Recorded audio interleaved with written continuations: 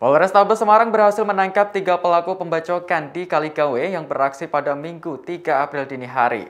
Aksi tersebut membuat masyarakat resah lantaran para pelaku membacok orang yang tak dikenalinya saat melintas. Polisi menyebut bahwa para pelaku masih berusia di bawah umur.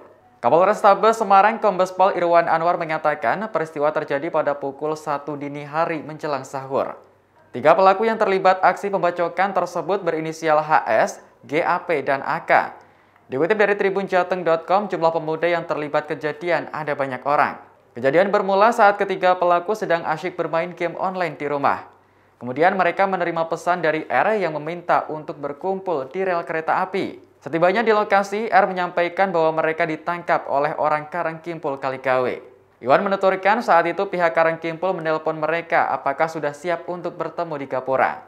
Tanpa pikir panjang, L bersama rombongan langsung menuju Gapura dengan membawa senjata tajam. Setibanya di lokasi, mereka tidak menemukan orang-orang Karang Kimpul tersebut.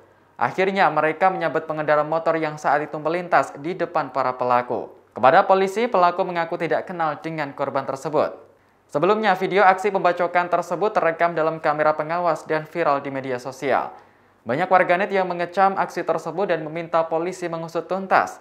Pasalnya, selesai membacok pengendara, para pelaku tampak senang dengan berjoget dan melompat. Kasus ini pun akhirnya berhasil diungkap polisi dengan menangkap para pelaku yang ternyata masih berusia di bawah umur. Jadi secara kronologis, mereka bertiga menyampaikan bahwa ketika itu mereka sedang main game di rumah, kemudian mereka tidak lama kemudian menerima pesan melalui WhatsApp dari saudara R yang bunyinya menyuruh kumpul di rel kereta api Tanggung Rejo di situ mereka melihat ada sekitar 10 orang teman-temannya, di mana kemudian dari temannya yang bernama R ini menyampaikan bahwa mereka ditantang oleh orang kampung Karangkimpul Kaligawe Semarang. Kemudian dari pihak Karangkimpul menelpon video call kepada mereka dan mengatakan sudah siap atau belum dan ditunggu di Gapura Karangkimpul.